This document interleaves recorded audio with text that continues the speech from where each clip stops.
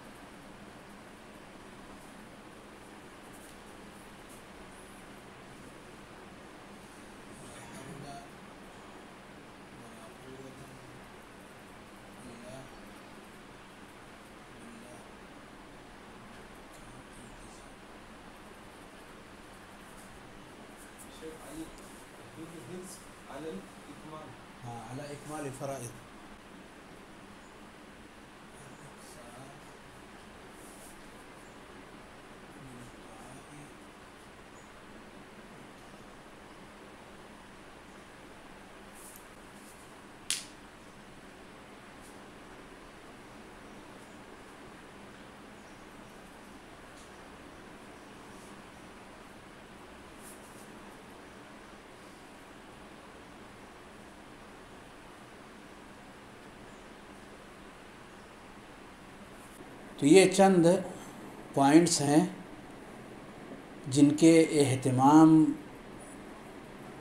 और जिन पर पाबंदी का शेख़ुलस्लाम तैमिया ने अपने जवाब में इशारा किया कि इन बातों का खसूस एहतमाम इंसान करे। अगर इसका अहतमाम करता है, इसकी पाबंदी करता है तो जो मुश्किलात उसे दरपेश हैं उससे बसानी वो बाहर निकल सकता है। आइए मुख्तसर में इशारा करें कि ये क्या चीज़ें हैं जिनकी तरफ़ शेख शेख़ुलस्लाम तैमिया ने इशारा किया है। नंबर एक। ग्यारहवा पढ़ दे अल यकीन अनस अलन्नस अलयकीन अलन्नस वलमखरज मिनल फ़र्क पहली बात जिसकी तरफ़ अपने इस जवाब में शेख शेख़ुलस्लाम तैमिया रहमहुल्लाह ने इशारा किया कि बंदा अल्लाह रब्बुल आलमीन की तरफ़ पलटे। लुजू इल्लाह अलिल्तिजा इल्लाह लजा यलजऊ के माने होते हैं रब करीम से जुड़ जाना, अल्लाह रब्बुल आलमीन से जुड़ जाना। उसकी तरफ़ पलट आना, उसी का होकर के रह जाना। अलिल्तिजा इल्लाह किसी और की तरफ़ ना जा करके किसकी तरफ़ जाना? अल्लाह रब्बुल आलमीन की तरफ़ जाना।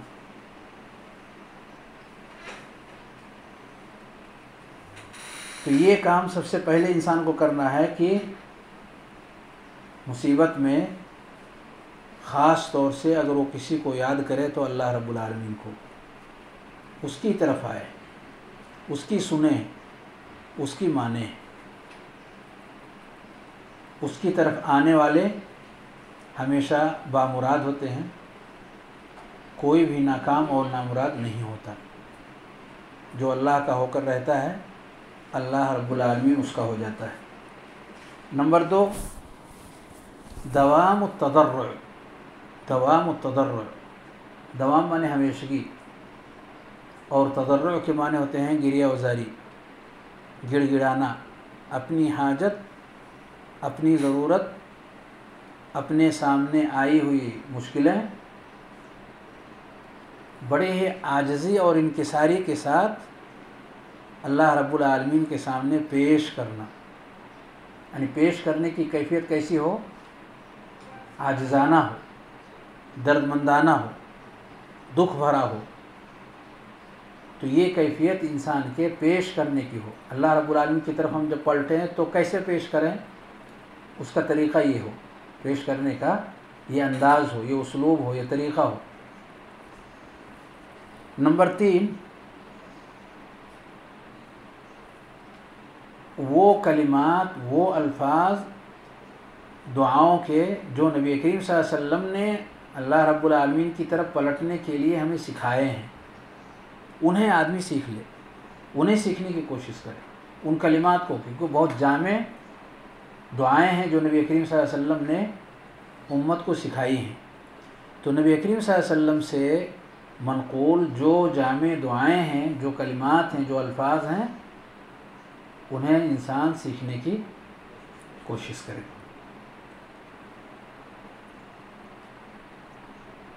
इसी तरीके से दुआएँ कब करे? दुआएँ किस वक्त करे? कबूलियत के अवकात का इंतखब करे। कबूलियत के अवकात का। अब दुआ फिर मज़ान में ली जाएगा। कबूलियत के अवकात में दुआ करे। अब कबूलियत के अवकात हम सबको मालूम है, आदमी सफ़र में है, सियाम में है, इसी तरीके से जब जी जी, नमाज़ के बहुत सारे अवकात हैं, उसमें है। रात की आखिरी घड़ी है जी। हाँ रात की आखिरी घड़ी है और अजान और इकामत के अवकात हैं, हालत सजदा है। तो ये सब अवकात कबूलियत के हैं। और इससे पहले किसी दर्स में मैंने बहुत तफसील से वो सारे अवकात का मैंने तस्करा किया। है तो उन अवकात का रमज़ान से कुछ पहले। तो आदमी अहतमाम करे दुआओं का उन अवकात में, ख़ास तौर से, जो कबूलियत के अवकात हैं। इसी तरीके से तोबा और इस्तग़फ़ार करे। तोबा और इस्तग़फ़ार करे। यानी इंसान की ज़िंदगी में जो कमी और कोताही है, उनका एहसास और एहसास नदामत हो, पछतावा हो, अफसोस हो, गलतियों का, और पुख्ता इरादा हो उन गलतियों से बाहर निकलने का, उन गलतियों से बाहर निकलने का पुख्ता इरादा हो, आज़म हो, अल्लाह रब्बुल आलमीन से वादे हों। ये तौबा और इस्तग़फ़ार है कि आदमी से जो कुछ हो गया है उस पर पछतावा है, अफसोस है और आने वाले दौर में, आने वाले वक्त में ना करने का पूरा अज़्म है। तो इसके साथ साथ वो तौबा, इस्तग़फ़ार का भी खसूस अहतमाम करें और सुबह व शाम के अदकार का अहतमाम करें। सुबह शाम और सोने के वक्त का। सुबह शाम और सोने के वक्त अदकार का खसूसी अहतमाम करें। जो लोग इन अदकार का अहतमाम करते हैं, सुबह शाम और सोने के वक्त का, उनके बारे में कहा जाता है, अज़ाकिरीन अल्लाह कसीरन वज़ाकिरत जो इसका अहतमाम करते हैं, नबी करीम वसल्लम ने सोते वक्त किन अदकार का अहतमाम किया है? शाम के वक्त में किन अदकार का अहतमाम किया है? सुबह के वक्त में किन अदकार का अहतमाम किया है? इन अदकार का अहतमाम करने वाले लोग अज़ाकिरून अल्लाह कसीरन वज़ाकिरात की फहरिस्त में शुमार किए जाते हैं। तो इसका खसूसी वो अहतमाम करे, इन अदकार का वो खसूसी अहतमाम करें। और जब भी कोई भी इंसान सही रास्ते पर आने का इरादा करता है तो उसके जो आदा और दुश्मन हैं, उसके जो दुश्मन हैं वो दुश्मन उसके इन अच्छे और भले इरादों के रास्ते की रुकावट बनने के लिए सामने आते हैं। हर मुमकिन रुकावटें, चाहे उसका अपना नफ्स दुश्मन हो, या शयातीन इंस और जिन उसके दुश्मन हो। ये सारे के सारे रुकावट बन करके आ खड़े होंगे। मुख्तलिफ़ तरह से रुकावटें डालने की पूरी कोशिश करेंगे। आपको रोकने की भरपूर कोशिशें करेंगे कि ये जो कुछ चेंजिंग आपकी ज़िंदगी में आई हुई है, इससे पलट जाओ। लेकिन इन रुकावटों की इंसान परवाह न करे और अपने मिशन में लगा रहे जो भी खैर की चीज़ें उसे बताई जा रही हैं, उनसे वो किसी भी एतबार से सौदा न करे। उस पर पाबंदी के साथ डटा रहे। अगर ऐसा करेगा तो अल्लाह रब्बुल आलमीन उसके इस अमल जिहाद को, जो दुश्मनों के साथ लड़ते हुए आगे बढ़ेगा, इन रुकावटों को अल्लाह रब्बुल आलमीन अपने फजल से, अपनी रहमतों से पाश पाश कर देगा और वो उनसे कतराते हुए आगे बढ़ जाएगा। इसी तरीके से फ़राइज़ का अहतमाम करना तो करना है, लेकिन फ़राइज़ को अच्छे ढंग से करना, अच्छे ढंग से अदा करना और उसी का इशारा इसमें जवाब में है इकमालफ़राइज़ फ़राइज़ को मुकम्मल करके पढ़ना, यानी ज़ाहरी एतबार से और मानवी एतबार से किसी काम को अच्छे तरीके से करने का क्या तरीक़ा है, उसका अहतमाम करें। यानी खूबसूरत तरीक़ा जो नबी करीम वसल्लम ने ज़ाहरी और मानवी एतबार से हमें नमाज़ की अदायगी के लिए बताया हुआ है, उसका भरपूर वो अहतमाम करे। तो अगर फ़राइज़ को ज़ाहरी और मानवी सिफात से मुकम्मल करते हुए उन फ़राइज़ को अदा करता है तो ये उसके रास्ते के लिए काफ़ी क़वत का बायस बनेगा। इसी तरीके से इसकी ज़ुबान पर हो, एक कलिमा, ला वला बिल्लाह।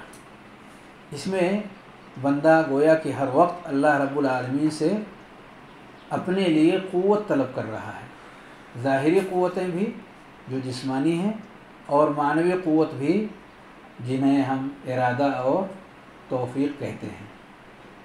तो ये सारी क़ुव्वतें इंसान को अगर हासिल हों तो वो फ़राइज़ का भी अहतमाम कर सकता है और बुराइयों से अपने आप को बचा भी सकता है। इसलिए इस दुआ का ख़ास तौर से वो अहतमाम करे। इस दुआ के साथ साथ वो बहुत बड़े बड़े मसाइल को वो आसानी के साथ हल कर सकता है बड़ी बड़ी मुसीबतों को अपने सर के ऊपर से उतारने में कामयाब हो सकता है, अगर सही तौर से इन कलिमात का अहतमाम करे। और दुआ करने में सुस्ती और काहली से काम ना ले, कसरत से दुआ करे। अलिकसार मिन दुआ।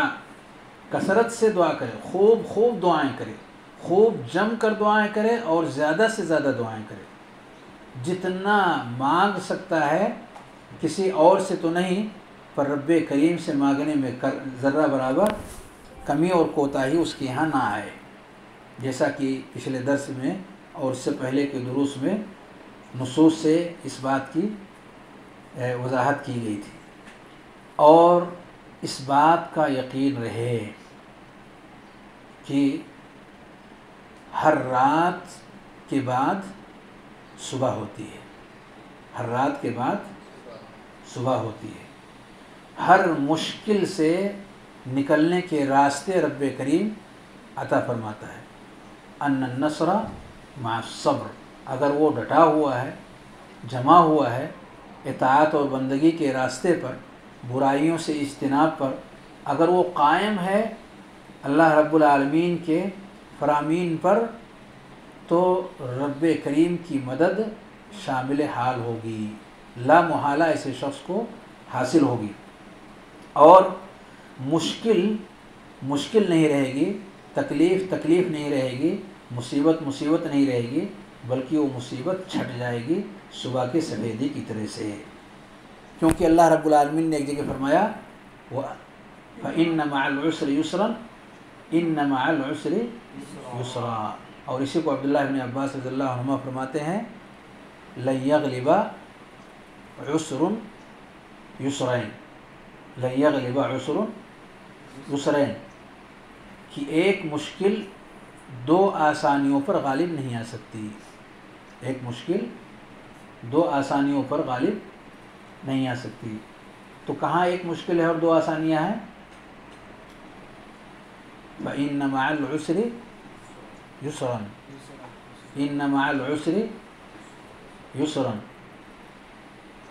तो अलिफ लाम सिर्फ़ उसर पर लगा है युसर पे नहीं लगा है अलिफ लाम आप दोनों आयतों को पढ़ें दोनों आयतों में अलिफ लाम जो लगा हुआ है वो उसर पे लगा है यानी मुश्किल पे अलउसर पे यानी मुश्किल वही है जो यहाँ है वही वहाँ है मुश्किल वही सेम सेम और युसर को दोनों जगहों पर नकरा लाया गया है और नकरा में तद्दुद होता है।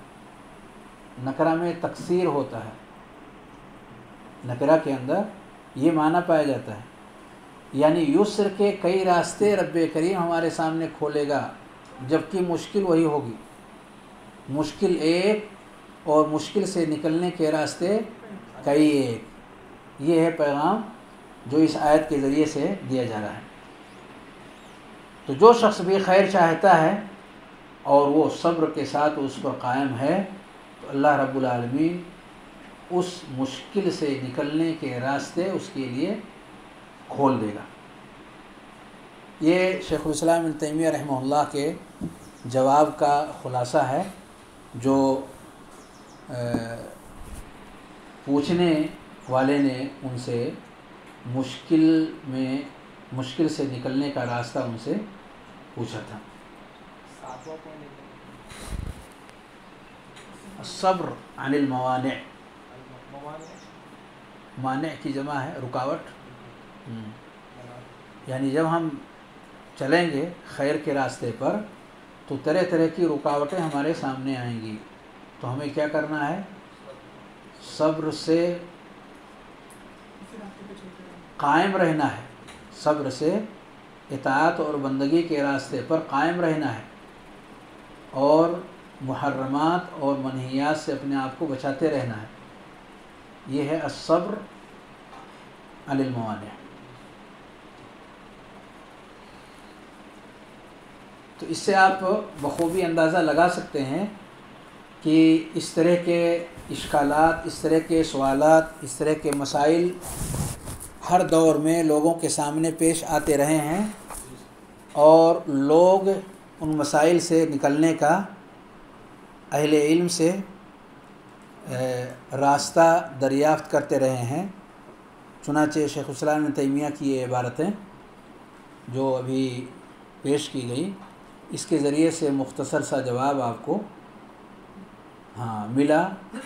आप इस मुख्तसर जवाब को शेख इस्लाम इबन क़ीम रहमल्ला की किताब अद्दा दवा में बहुत तफसील से इन्हीं बातों को मुलाहजा करेंगे, जो उनके उस्ताद ने मुख्तसर में इस जवाब के अंदर ज़िक्र किया है। आगे बढ़ने से पहले शेख इस्लाम तैमिया ही की चंद बातें इसी किताब के अंदर फतावा के अंदर बहुत मुख्तसर मुख्तसर सी बातें मैं यहाँ ज़िक्र करना चाहता हूँ कि जिस परेशानी का तस्करा दोनों सवालों के अंदर है, जिस मुसीबत का तस्करा दोनों सवालों के अंदर आया हुआ है ये मुसीबतें क्या हैं, ये परेशानियाँ क्या हैं, सवाल से भी बखूबी वाज है और जवाब में भी इशारा मौजूद है। और इस पर खूब खूब गुफ्तु भी शेखैन ने किया है। और जिसको मैंने पिछले दुरुस्त में ज़िक्र भी किया कि ये इश्क का मर्ज़ था।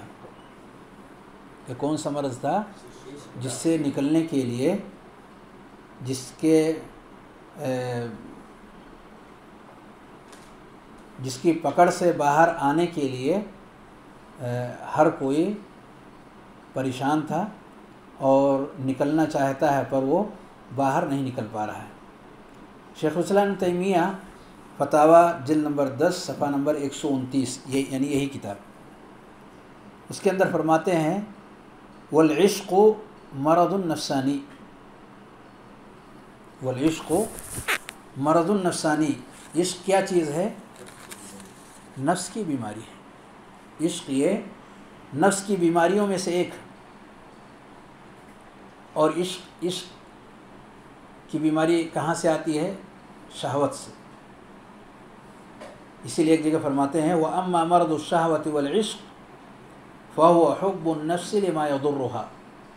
फरमाते हैं, शहवत और इश्क की बीमारी दरअसल है क्या चीज़?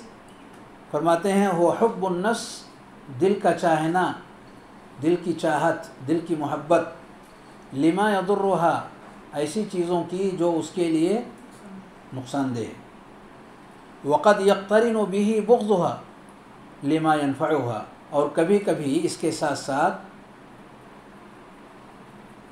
ये ये चीज़ भी पाई जाती है कि वो ऐसी चीज़ों को नापसंद करने लगता है जो उसके लिए फ़ायदेमंद है। जो नुकसानदेह हैं, उनकी मोहब्बत दिल में बैठ जाती है। और जो फ़ायदेमंद हैं, उसकी बोझ उसका बोझ और उसकी नफ़रत दिल के अंदर आ जाती है। ये शहावत और इश्क के मर्ज़ में गिरफ़्तार इंसान के अंदर जो बात पाई जाती है, जो सिफत पाई जाती है, उस सिफत का असर ये है कि वो ऐसी चीज़ों को चाहने लगता है जो उसके लिए नुकसानदेह है और ऐसी चीज़ों से नफ़रत करता है और बुग्ज़ रखता है जो उसके लिए फ़ायदेमंद है। तो कहते हैं ये नफसानी मर्ज़ है, नफ्स का ये मर्ज़ है व इदा कविया असरफिल बदन। और जूँ जूँ इसके अंदर क़वत आती जाती है, इस बीमारी के अंदर तो सिर्फ़ नफ्स के हद तक वो नहीं रहता, बल्कि नफ्स से आगे बढ़ कर के जिस्म को भी नुकसान पहुँचाने लगता है। ये पहुँचाने लगती है ये बीमारी, ये मरज़। यानी नफ्स को भी तकलीफ़ पहुँचाने के साथ साथ और किसको तकलीफ़ पहुंचाता? जिस्म को भी तकलीफ़ पहुँचाने लगता है। फसारा मरदन फिल जिस्म।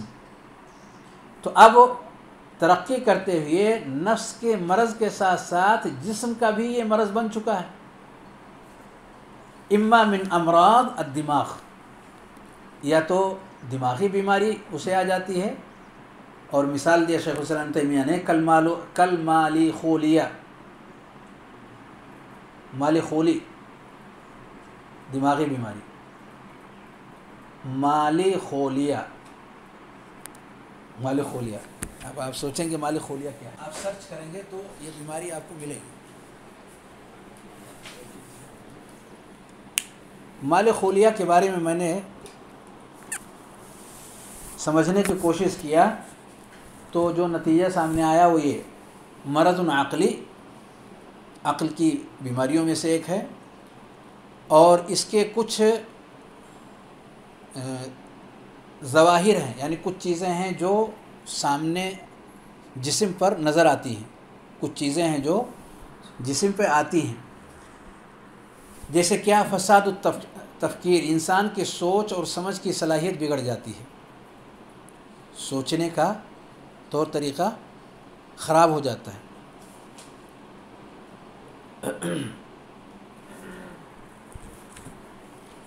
कहते हैं कि जुनून की बीमारियों में से एक बीमारी है, पागलपन। इसमें मरीज़ बग़ैर किसी सबब के खौफ ज़दा हो जाता है। यानी कोई ऐसी खौफ डालने वाली चीज़ उसके सामने नहीं होती, उसके बावजूद भी वो डर जाता है। या इसी तरह से एक अलामत और भी पाई जाती है कि वो हर एक के बारे में बदगुमान होने लगता है। हर एक के बारे में, हर एक के बारे में बदगुमान रहता है। उसे अच्छा गुमान सिर्फ़ अपने बारे में रहता है।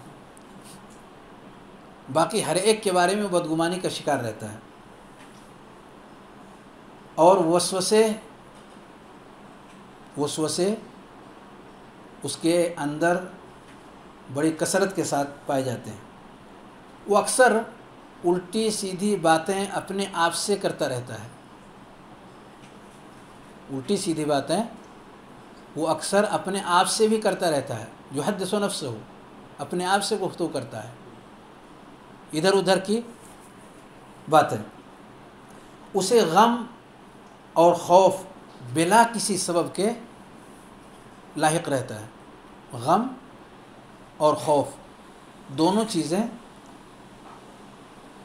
और अकेलापन की सिफत उसके अंदर आने लगती है। वो चाहता है कि लोगों के बीच में न रहें।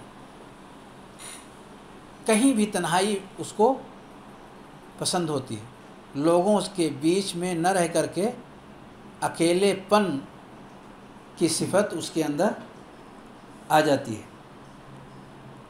औरों से जो बात करता है तो उसकी गुफ्तु बहुत ही बेजोड़ होती है। उसकी गुफ्तु बहुत बेजोड़ होती है। और कुछ गुफ्तु ऐसी भी होती है जो बिल्कुल ही समझ में आने वाली ना हो। कुछ भी बोलता रहता है, कुछ भी कहता रहता है।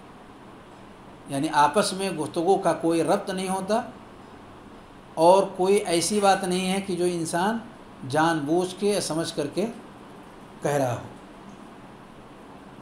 रात में ज़्यादा बेदार रहना उसके अंदर महबूब तरीन कामों में से हो जाता है। उसे इसको क्या कहते हैं? रत जगाई। यानी इंसान हाँ। वो उस इंसान को रात में जागना बहुत अच्छा लगता है। रात में और अगर मामूली सभी गुस्सा आ जाए तो अनकंट्रोल होता है। सरी उलगदब ला सतियो असैतर नफसी। अपने आप पे वो कंट्रोल नहीं रख पाता। वगैरह। उसे ऐसे लगते हैं कि सारे लोग मजानीन हैं। उसे ऐसा लगता है कि सारे लोग सारे लोग पागल हैं। वो ठीक है। उसके जैसा कोई नज़र ही नहीं आता। इसलिए वो सबसे अलग थलग रहने की वो कोशिशें करता है। इसको जिस इस बीमारी का नाम क्या है? माली खोलिया यानी जिसके अंदर ये सब कैफियतें आती हैं, उस बीमारी का नाम मालिकोलिया है। शेख इस्लाम तैमिया क्या फरमाते हैं? कहते हैं, ये बीमारी मर्ज़ शहवत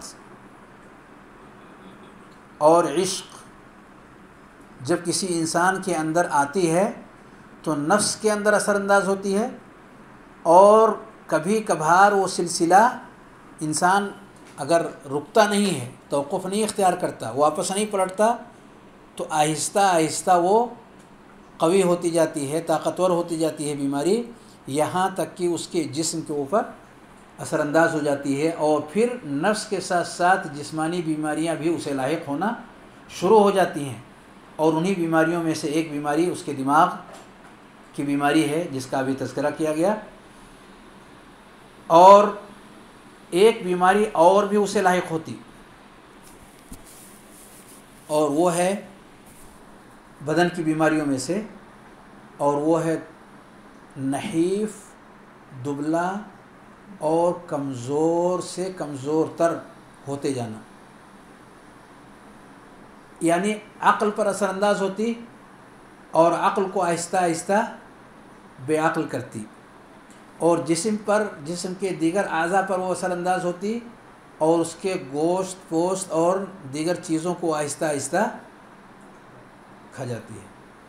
और वो इंसान दिन ब दिन कमज़ोर से कमज़ोर तर होता चला जाता है।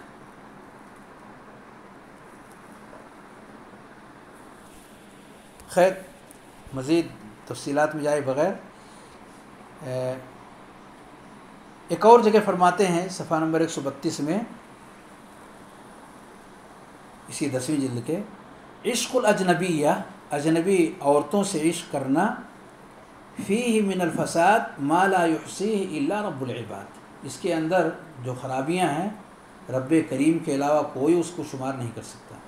इस कदर अजनबी औरतों से इंसान अगर इश्क करता है तो उसके अंदर इसे, इनकी गुफ्तु से लगता है कि इंसान अगर अपनी औरत से भी इश्क करता है तो वो भी कहीं ना कहीं उसके लिए नुकसानदेह साबित होंगी। आगे जैसा कि तस्करा आएगा। इश्कुल अजनबी अफ़ी मिनलफसाद माला युसी रब्बुलबाद बहुत ज़्यादा इसके अंदर ख़राबियाँ और बिगाड़ हैं। वह मिनल अमरादलती तुफसिदीन साहिबिहा। ये उन बीमारियों में से है जो इंसान के दीन को तबाह बर्बाद कर देती है। जैसा भी दीनदार हो, आप अगर वाक़ात पढ़ना चाहें और सुनना चाहें, आप इबन जोज़ी की किताब तलबीस इबलीस आप पढ़ लें। तलबीस इबलीस। उसमें देखें, एक से बढ़ कर के वाक़ात उसके अंदर उन्होंने ज़िक्र किए हैं कि इसके कितने ख़तरनाक असरात और नतज हैं। और अलहवा नामी जो किताब है उसके अंदर भी इस तरह की चीज़ें मौजूद हैं। सुम मकतुफ़ अक़ल हो सुम जिसम हो दीन को तो तबाह करती ही हैं और अक़ल और उसके जिस्म को भी तबाह कर देती हैं, जैसा कि अभी कुछ देर पहले ज़िक्र किया गया। फरमाते हैं,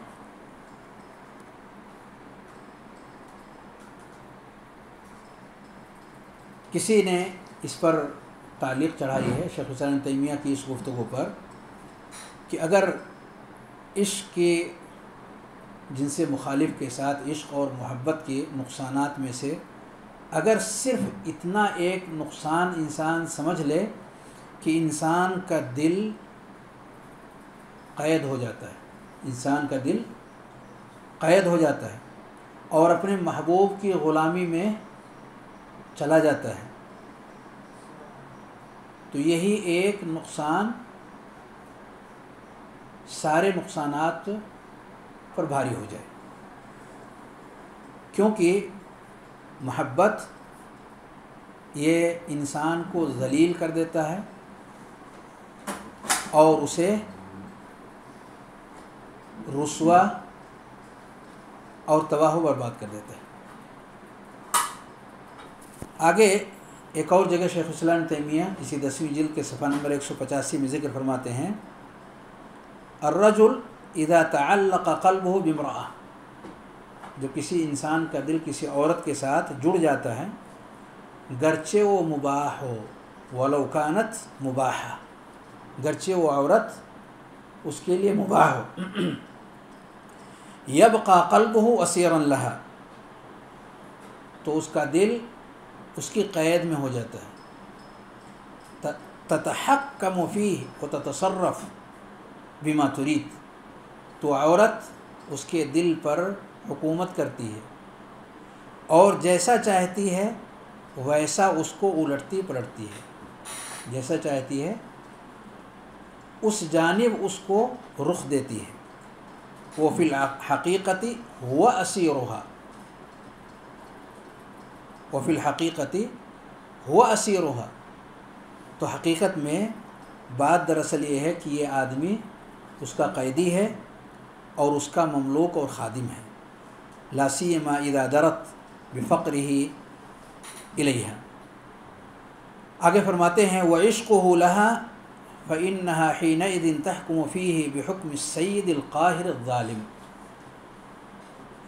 जब वो उसके महब्बत का असीर हो जाता है तो वो काहिर ालिम जाबिर, बादशाह की तरह उसके ऊपर अपने, जैसे कि वो अपने ग़ुलामों पर, अपनी रियाया के ऊपर हुक्म नाफिज करते हैं बेआन ही ये भी उसी तरीके से अपना हुक्म नाफिज करती है, जिससे बाहर निकलने का कोई रास्ता उसके पास नहीं होता। बल आज़म, बल्कि इससे भी बड़ा एक मसला ये होता है फ़िन असर क़ल्ब आज़म मिन असर बदन। दिल का जकड़ जाना, जिस्म के जकड़े जाने से कहीं ज़्यादा ख़तरनाक है, कहीं ज़्यादा। और दिल का किसी की ग़ुलामी में चला जाना, ये बदन की ग़ुलामी से कहीं बढ़ कर के है। दिल का किसी की ग़ुलामी को कबूल कर लेना, बदन की ग़ुलामी से कहीं बढ़ कर के है।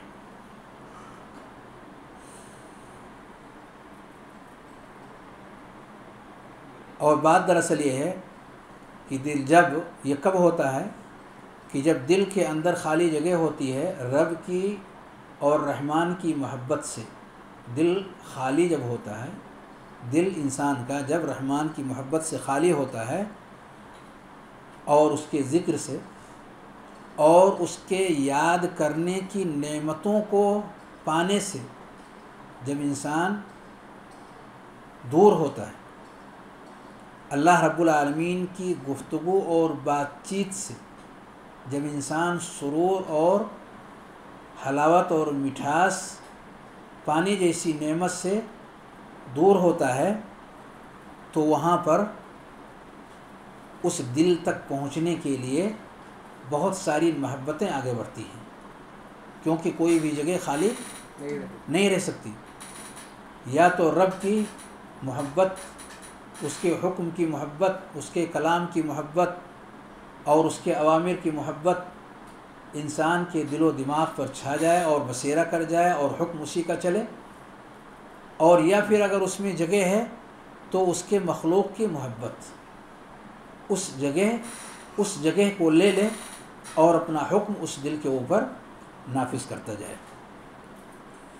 तो औरतों की मोहब्बत तस्वीर की मोहब्बत, गना की मोहब्बत और इस तरह की जो दुनिया के अंदर पाई जाने वाली बहुत सारी मोहब्बतें हैं, फिर ये सब एक से बढ़ कर के एक उसके दिल का कसद करती हैं और वो खाली जगह ले लेती हैं।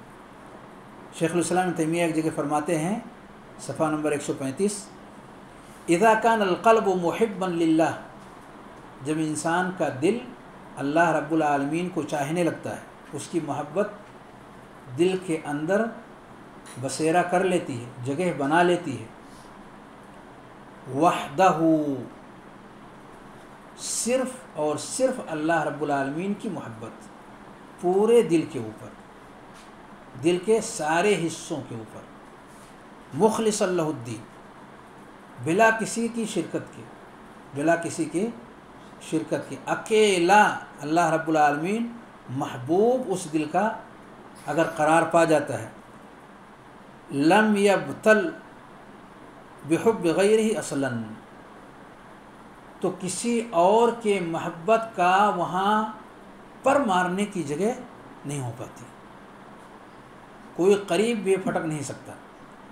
फ़ादलन अयूब तलाबिलश्क बजाय इसके कि वो इंसान इश्क जैसी ख़तरनाक बीमारी का शिकार हो जाए।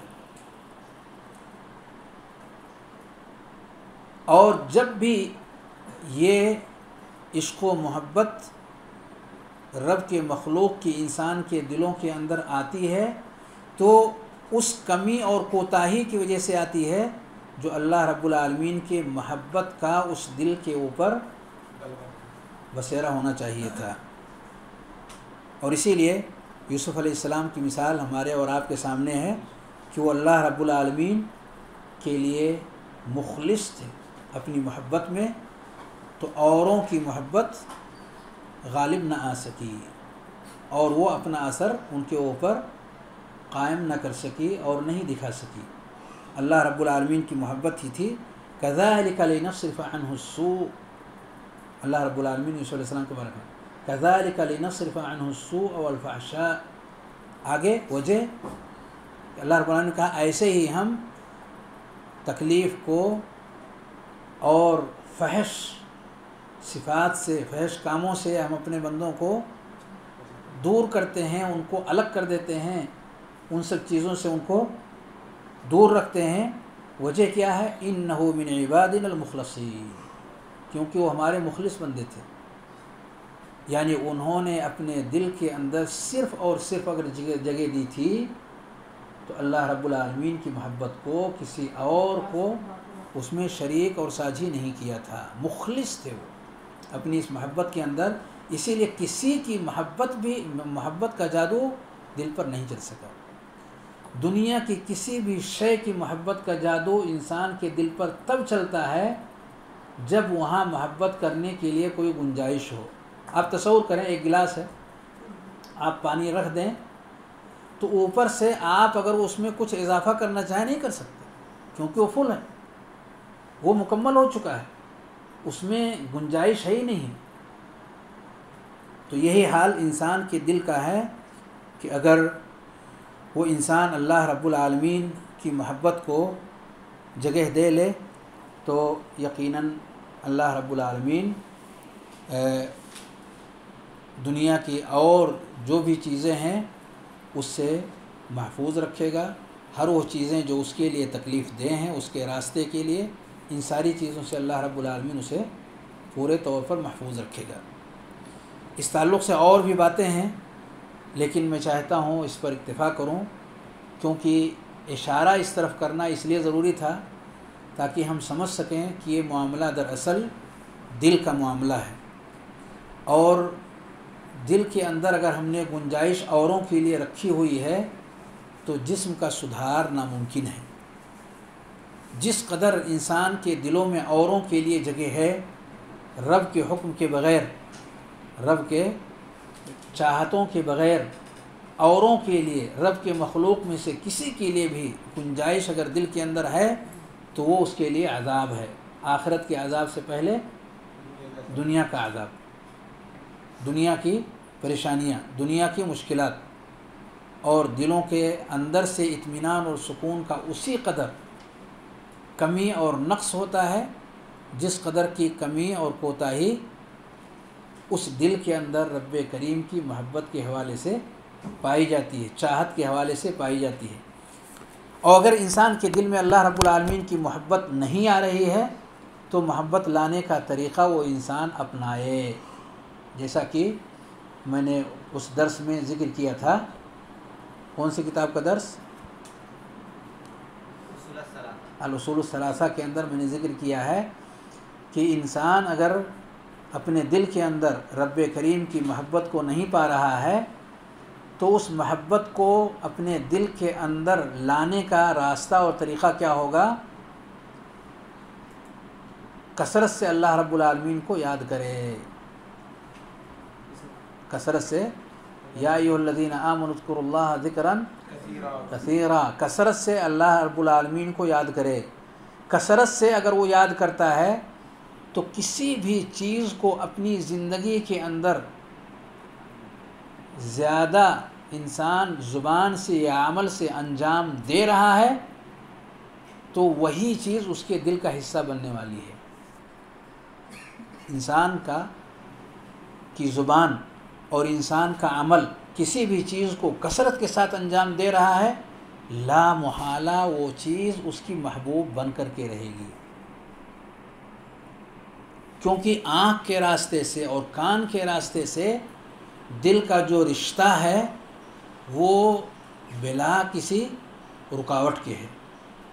ये डायरेक्ट रिश्ता है, आँख का रिश्ता दिल से और कान का रिश्ता दिल से।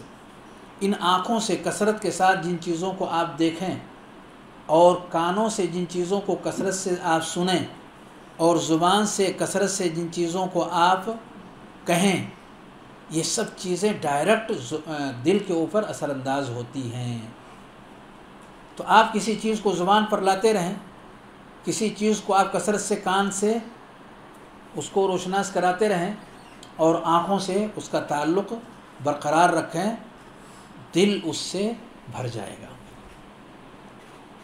तो अगर कोई शख्स ये चाहता है कि अल्लाह रब्बुल आलमीन की मोहब्बत उसके दिलो दिमाग का हिस्सा बन जाए तो अपने इन तीन चीज़ों का ख्याल कर ले। आँख, कान और ज़ुबान। इन तीन रास्ते से वो अल्लाह रब्बुल आलमीन को अपना महबूब बना सकता है बिला शिरकत गैर किसी और को उसमें शिरकत किए बग़ैर। और जब अल्लाह रब्बुल आलमीन ही बंदे का महबूब होगा तो इंसान का हाथ, उसका पैर और उसके जिस्म के दीगर अज़ा वो सुकून और इत्मीनान उसकी याद के बग़ैर महसूस ही नहीं कर सकेंगे। उन्हें सुकून और इत्मीनान तब हासिल होगा, जब अल्लाह रब्बुल आलमीन का ज़िक्र होगा, अल्लाह रब्बुल आलमीन का नाम होगा, अल्लाह रब्बुल आलमीन के अवामिर और हकाम होंगे तभी जा कर के बंदा उसका हो सकेगा और उन चीज़ों से अपने आप को मुतमिन कर सकेगा।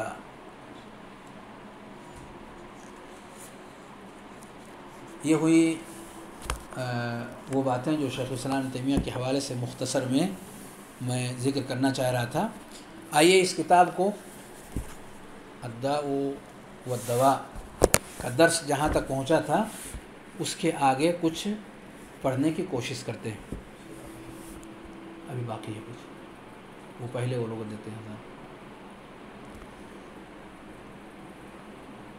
थोड़ा सा पढ़ लेते हैं। पिछला पिछला दर्स दुआ को कवी तर बनाने के लिए वो उसूल और वो सिफ़ात जो किताब व सुन्नत के अंदर मौजूद हैं अगर उन्हें अपनाई जाएँ तो हमारी दुआओं में बहुत क़वत पैदा हो जाती है। क्योंकि दुआ, ये शिफा पाने का एक अहम रास्ता है, नफ़ा बख्श रास्ता है।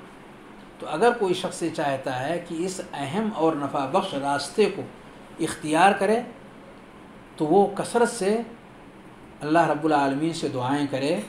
उन्हीं सिफ़ात में से एक आखिरी सिफत जो मुअल्लिफ़ ने यहाँ ज़िक्र फरमाई है वह है हाँ? हाँ नबी के कलिमात के साथ जिसको दुआ मासूर कहते हैं करे। लेकिन आखिर में वसीले का तस्करा है कि अल्लाह रब्बुल आलमीन के असमाय हुसना का सिफ़ात अलिया का वसीला बनाए और इसमें आज़म का वसीला बनाए। इसमें आज़म का वसीला बनाए। इसमें आज़म के ताल्लुक़ से बातें चल रही थी कि अगर इसमें आज़म के वास्ते से, उसके वसीले से, उसके ज़रिए से अल्लाह रब्बुल से दुआएँ करता है तो उसकी दुआओं में क़ुव्वत बढ़ जाती है। और आखिरी दुआ जो इसमें आदम के हवाले से पिछले दस में ज़िक्र किया गया, यूनुस अलैहिस्सलाम की दुआ थी। यूनुस अलैहिस्सलाम की दुआ थी। क्या दुआ है यूनुस अलैहिस्सलाम की? इन्नी कुंतु मिनज़ालिमीन ला इलाहा इल्ला अंत सुबहानका इन्नी कुंतु मिनज़ालिमीन नहीं है कोई मबूद हकीकी मगर अल्लाह रब्बुल आलमीन सुबहानका अल्लाह तेरी ज़ात पाक है हर ऐब से हर नक्स से हर कमी से तेरी ज़ात पाक है आगे क्या है इन निकुन तुम नज़ालिम मैं ही ालिम कमी मेरी है, कोताही मेरी है, गलती मेरी है, गुनाह मेरा है, अल्लाह तो मुझे माफ़ कर दे। ये है दरअसल इस दुआ के अंदर जामियत। और इसीलिए इस दुआ के बारे में प्यारे नबी सल्लल्लाहु अलैहि वसल्लम की जो हदीस है, तिरमिज़ी वगैरह के अंदर, लम यदउ बिहा मुस्लिम फ़ी शैइन क़त सजाब किसी भी चीज़ में जब बंदा इस दुआ को पढ़ता है तो अल्लाह रब्बुल आलमीन उसे कबूल कर लेता है। लम यदउ बिहा मुस्लिम फ़ी शैइन क़त किसी भी चीज़, कोई भी मसला, चाहे वो मुश्किल हो या ना हो, वो परेशानी हो या ना हो, वो मुसीबत हो या ना हो, अगर किसी भी मुसीबत या गैर मुसीबत के अंदर बंदा अल्लाह रब्बुल आलमीन से दुआ करता है, किसी मुसीबत को दफ़ा करने के लिए या किसी नेमत को हासिल करने के लिए तो अल्लाह रब्बुल आलमीन उसकी दुआओं को कबूल कर लेता है। बल्कि साद में अबी वक्कास रज़ी अल्लाह तहों की जो रिवायत है मुसदर हाकिम के अंदर, उसके अंदर नबी करीम सल्लल्लाहु अलैहि वसल्लम का फरमान काबिल तवज्जो है। आपने फरमाया, अला उखबिरुकुम बिशै क्या मैं तुम्हें एक ऐसी बात ना बताऊँ? इदा नज़ला बिरजुलिमिनकुम करबुन औ बला कि तुम में से किसी शख्स को परेशानी या आजमाइश आए, मिन बला या दुनिया, दुनियावी आजमाइशों में से। दआ बिही और दुआ करे बंदा युफर्रजुअन अल्लाह उसकी उन परेशानियों और मुसीबतों को रफ़ा कर देता है। फ़कील लहू बला, आपसे कहा गया, क्यों नहीं, आप बताइए, हमें ज़रूर बताइए, कौन सी दुआ है? तो आपने कहा, दुआ उदिनून ला इलाहा इल्ला अंत, सुबहानक इन्नी कुंतु ये मुसनद मुसदरक हाकिम वगैरह की रिवायत है। और सही रिवायत है।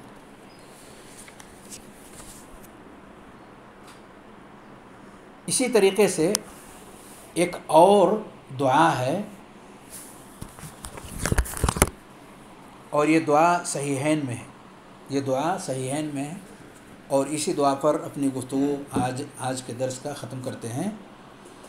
अब्दुल्लाह बिन अब्बास अन्हुमा की रिवायत है अन्न रसूल वसल्लम कान यकूल इंदल कर्ब मुश्किल और परेशानी के वक्त नबी करीम सल्लल्लाहु अलैहि वसल्लम पढ़ते थे क्या ला इलाहा इल्लल्लाहुल अज़ीमुल हलीम ला इलाहा इल्लल्लाहु अल अज़ीमुल हलीम ला इलाहा इल्लल्लाहु रब्बुल अर्शिल अज़ीम ला इलाहा इल्लल्लाहु रब्बुस समावाति व रब्बुल अर्दि व रब्बुल अर्शिल करीम तीन कलिमात हैं तीन कलिमात हैं नबी करीम वसल्लम मुश्किल मौके पर इस दुआ को पढ़ते थे ला इलाहा इल्लल्लाहु अल अज़ीमुल हलीम ला इलाहा इल्लल्लाहु रब्बुल अर्शिल अज़ीम ला इलाहा इल्लल्लाहु रब्बुस समावाति व रब्बुल अर्दि व रब्बुल ये तीन कलिमात हैं सही बुखारी और सही मुस्लिम की रिवायत में। नबी करीम वसल्लम मुश्किल मौके पर इस दुआ का अहतमाम फरमाते क्या माना हुआ इसका? ला इलाहा नहीं है कोई मबूद हकीकी मगर अल्लाह रब्बुल आलमीन अल अज़ीम जो बहुत आज़मतों वाला है। बहुत अज़ीम है वो रब। बहुत बड़ा है वो रब। अज़ीम और कबीर में फ़र्क है किसी और मौके पर। अल हलीम और अल्लाह हिल्म वाला है। अल्लाह रब्बुल आलमीन हिल्म वाला है। हाँ बुरदबार है। यानी बंदों के गुनाहों के बावजूद मासीत के बावजूद, गलतियों और कोताहियों के बावजूद अल्लाह रब्बुल आलमीन उनसे बदला नहीं लेता। बल्कि अपनी नेमतों के सिलसिले को उनके ऊपर जारी और बाकी रखता है। यानी अपने गुस्से को रब करीम सिर्फ़ यही नहीं है कि उसे कंट्रोल रखता है, बल्कि अपनी नेमतों के सिलसिले को भी मुतासर नहीं करता है, जारी रखता है। हलीम, ऐसे जैसे कि कुछ हुआ ही ना हो। ला रब्बुल अर्शिल अज़ीम नहीं है कोई मबूद हकीकी, मगर अल्लाह रब्बुल आलमीन करीम, जो अरश जो अरश का रब है। जो अरश का रब है। अब अल करीम, अल अल अल अज़ीम जो अरश अज़ीम का रब है। अरश अज़ीम का रब है।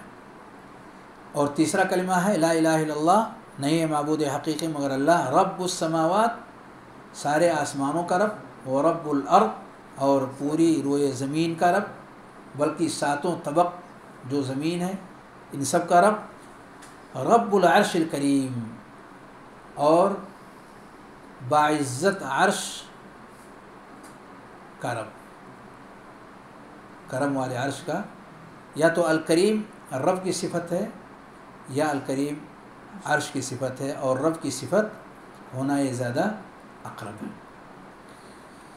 इसी पर इतफ़ा करते हैं, अल्लाह रब्बुल आलमीन हम सबको सही उसूलों और सही तरीक़ों को अपनाने की तौफ़ी अदा फरमाए। नबी करीम वसल्लम के अज़ीम नमूने और अज़ीम खैर खाही पर मबनी इरशादात और रहनुमाइयों को कबूल करने और अपनी ज़िंदगी को उससे आबाद करने की अल्लाह रब्बुल आलमीन हम सबको तौफ़ी बख्शे। हर तरह की मुसीबतों से बचाए और आसानियों और सुकून और आफ़ियत वाली ज़िंदगी हम सबको नसीब फरमाए आमीन व आखिर दावाना अल्हम्दुलिल्लाहि रब्बिल आलमीन सल्लल्लाहु वसल्लम अला नबीना मुहम्मद व अला आलिहि व सहबिहि अजमईन